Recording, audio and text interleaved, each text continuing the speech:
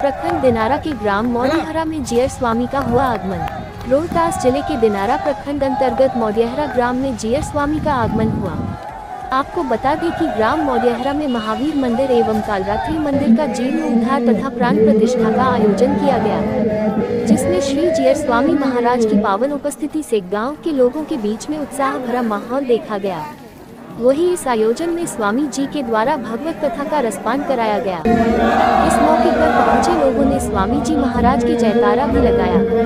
वही इस मौके पर रामाशंकर पांडे पपन ओझा राजीव रंजन ओझा राजू ओझा मौलिहरा गाँव के आयोजनकर्ता आदि मौजूद रहे। रोहतास से रमन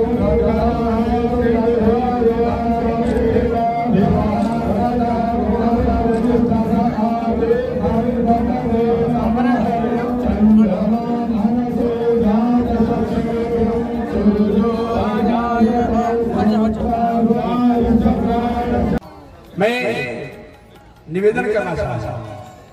आपके हमारे मन में यह प्रश्न होगा, जो देवी देवता ईश्वर की सत्ता, जब दुनिया में है तो मंदिर की क्या आवश्यकता मूर्ति की क्या आवश्यकता मंदिर और मूर्ति की प्रतिष्ठा करने की क्या आवश्यकता है? यह प्रश्न बना ही है। आज प्रतिष्ठा महाभारत मैं निवेदन करना चाहूँगा। ईश्वर की देवता की, देवी की सता तो पूरी दुनिया में परंतु सता द्वारा, जैसे हम अपने जीवन में मंगल प्राप्त करना चाहिए, उसके लिए हमें मंदिर और की आवश्यकता पड़ती है। जैसे आपके पास साइकिल है, मोटरसाइकिल है फोर व्हीलर गाड़ी है ट्रैक्टर है जीप कार है सब कुछ है आपके गाड़ी में कहीं हवा नहीं है टायर कहीं आप किसी भले आदमी से कहीं भाई जी मेरा गाड़ी पंचर हो गया है हवा नहीं है। तो कहेगा कि यार भाई हमसे क्या कहते हो? ये दुनिया में व्यापक हवा है कुछ अपना काम चला लो। ऐसा होगा। बात सत्य है। कि दुनिया में व्यापक हवा है, लेकिन उस व्यापक हवा से आपके मोटरसाइकिल में, साइकिल में फोर व्हीलर गाड़ी में वो हवा नहीं पूरा होगा। उसके लिए तो किसी कारीगर द्वारा उपकरण में हवा जो भरने का काम करता है, वही होगा।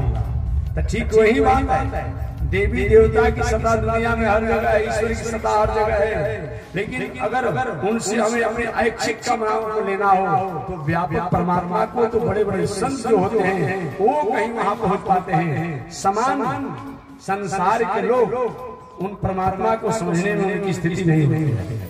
इसलिए इस मंदिर की आवश्यकता दूसरी बात पाँच प्रकार के ईश्वर की सत्ता बताई गई है। पाँच प्रकार के शक्ति की सत्ता बताई गई है। पाँच प्रकार के देवता की सत्ता बताई गई है। उन पाँच प्रकार में सबसे प्रथम बताया गया पर। परम परम परमात्मा। एक कौन है? जैसे बक्सर के गंगा जी का पानी। किसी को गंगा जी स्नान करना हो।